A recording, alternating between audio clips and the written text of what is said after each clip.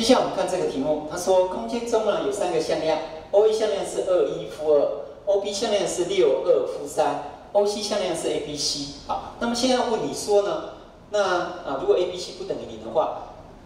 而且知道 a 平方加 b 平方加 c 平方等于四，那么要问你说这三个向量哦，O A、O B、O C 这三个向量所展开的平行六面体的体积，它的最大值是多少？好那我们知道说，你 P 六面体的体积就是这三个行列、这三个向量所展开的这个三阶啊，这个三阶行列式所展开的这个值加个绝对值，好，所以你可以经经由这里啊，得到负三 a 啦，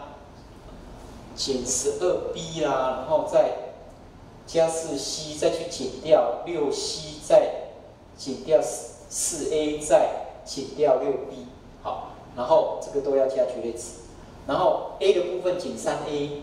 负负得正加四 a 就正一个 a，减十二 b 负负得正加六 b 就会减六 b，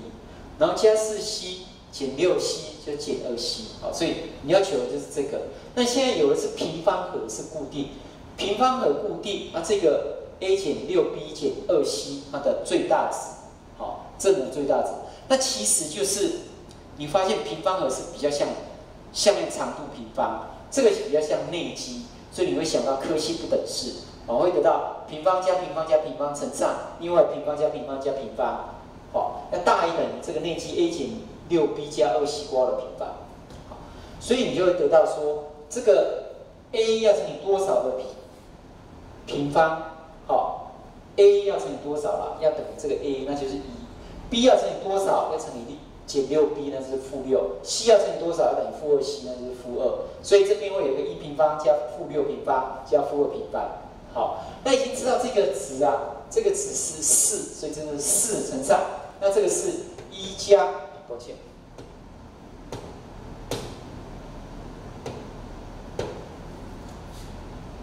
好，这是一加上三十六再加上四，就是四十一啊，所以。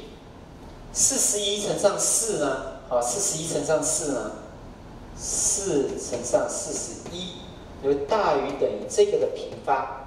这个平方呢，就会借在根号正的根号这个跟负的根号这个之间。好，那正的根号这个的话，就是二根号四十一；负的根号这个就是负二根号四十一。那我们要的是说，你的体积的最大值。那体积的最大值，这个加绝对值的话，它的最大值。也是一样，是二根号四十一，好，所以最大的体积就是二根号四十一啊。好，那你当然当然是从这边来看，其实你也可以直接看，就是说，哎，你的这个其实是 O A O B 先做外积，然后再跟 O C 做内积，啊，就是你随便找两个先做外积，再找一个做内积，啊，那因为这两个都知道了，下面，我就把它。放在一起做外积比较方便，所以我利用这两个去做外积，那做出来会得到一负六跟负二，那再跟它做内积就会得到 a 减六 b 减二 c，一样跟刚才一样，这个做出来是一样的。好，所以两种方法都可以，最后我们还是一样用柯西不等式来算出它的最大值。好，所以答案就是二根号四十。